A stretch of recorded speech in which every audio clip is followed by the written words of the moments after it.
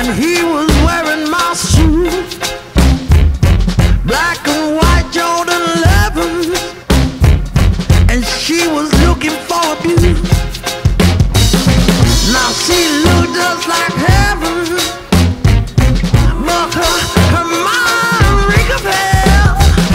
Now I know I shouldn't be telling, but I guess, I guess if you know her well, she's the kind of girl she came.